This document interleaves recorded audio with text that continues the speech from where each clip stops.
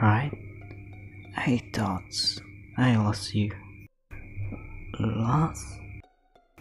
Does your head hurt? No. Turn darling. Why? What are you doing? Your wound is healed. Well, I didn't think I could help you, human too. What one white? You don't remember that creator that jumped you? What are you talking about? What about the explosion? What?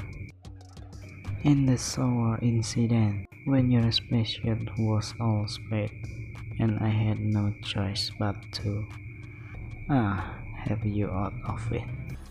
You? You? What? I see there. I made sure to keep my eyes occupied aware. You are adorable when you are full to love.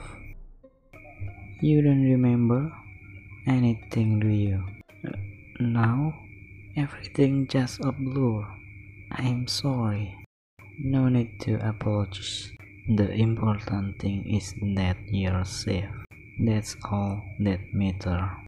But the creator it's gone. I did with that noise and you know right? It wasn't just your skin that chose my attention. It was you. Your vulnerability, the way you carry your pain with so quiet strength. There a purity in your voice, a gentleness in your demeanor. It's initial.